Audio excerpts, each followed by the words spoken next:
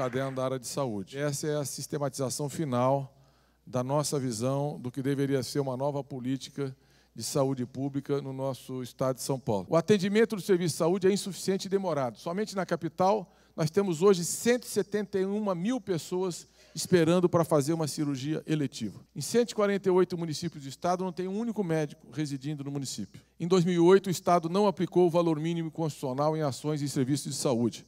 Tem uma representação contra o estado na justiça. 111 UPAs que estão sendo construídas, estão em 83 cidades, são 186 milhões. Na área hospitalar, que o, o, o nosso adversário disse que não houve nenhum investimento na área de hospital, foram 250 milhões. Nós temos o, o, Hospital Ouro Verde, o Hospital dos Pimentas em Guarulhos, é, o Quarteirão da Saúde em Diadema, Hospital Universitário em São Carlos, Hospital da Mulher em Santo André e São Bernardo, o hospital que está em construção, que são 120 milhões de reais.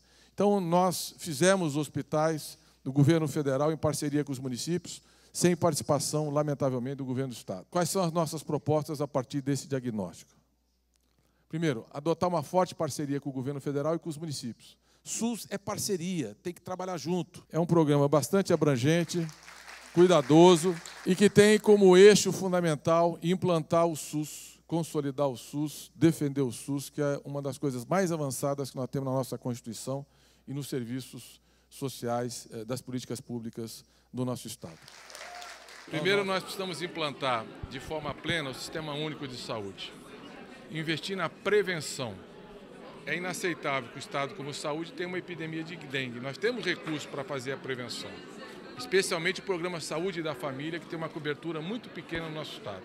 Depois, nós temos que recuperar os hospitais porta aberta, os hospitais do Estado, e muitos estão sucateados, e construímos oito novos hospitais regionais em áreas onde a demanda é muito grande e faltam leitos. Vamos fazer 30 novas policlínicas para poder fazer os exames e as consultas especializadas e democratizar e aumentar o controle social para que a gente possa ter uma saúde humanizada e um profissional bem pago e valorizado.